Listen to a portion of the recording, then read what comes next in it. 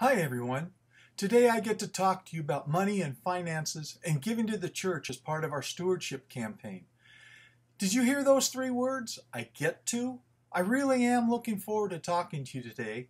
And yes, if you had told me several months ago that I would be here today in the middle of a pandemic and all the economic upheaval it has caused, that I would really want to talk to you about these things, I would have said something like, There is no way that is going to happen. The members of Agnus Dei have always been generous with their time, their talents, and with their treasure. When the membership of Agnus Dei has been made aware of a need, we have always responded. For example, a few years ago, the special Above and Beyond campaign brought funds into the church that are still helping us today. Another example is the beautiful organ that we have in the front of the church. The original funds for this did not come out of the church budget, but was given by individual members who saw a need and responded. It is in this spirit of generosity I will share a story of what four of our generous families have pledged to do.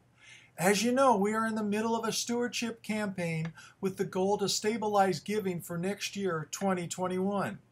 Early this week, you should receive a letter from Pastor Seth and our council president, Beverly Buster, asking you to complete an intent card and return it to the church.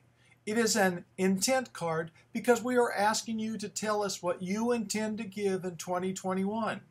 We understand that financial situations can change quickly in this time of pandemic, and you need to feel comfortable if an adjustment needs to be made in your giving.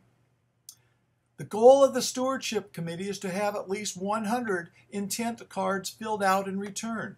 This is where those four families come in. As you probably know, our church is having a difficult time meeting its budget, and this campaign will not directly help with this cash flow problem. However, these four families have made a pledge in the form of a challenge gift that will bring in $4,600 to go directly to this year's budget if we as a congregation return 100 completed intent cards. All each of you have to do is prayerfully decide how much you intend to give in 2021 and put that on the intent card and return it.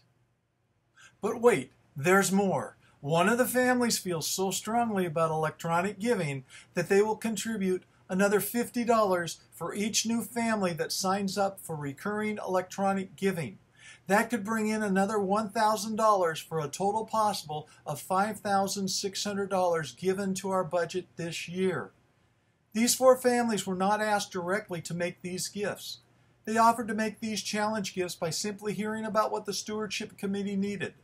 What these families are doing comes from a spirit of generosity, and it is in that spirit that I am asking each family to thoughtfully and prayerfully consider what they can give to Agnus Dei next year and then indicate their intentional giving for 2021.